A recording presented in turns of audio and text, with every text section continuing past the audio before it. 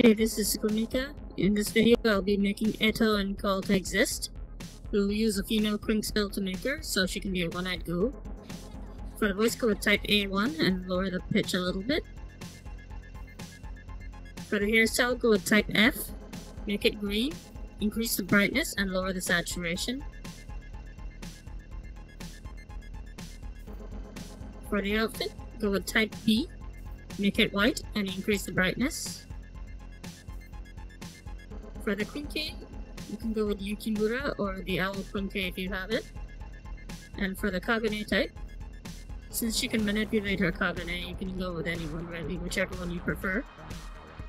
But I prefer to go with an Ukaku type since that's her Kagune type and you don't have to pick a range Quinque for her then. So that's about it. See you guys next time. Bye.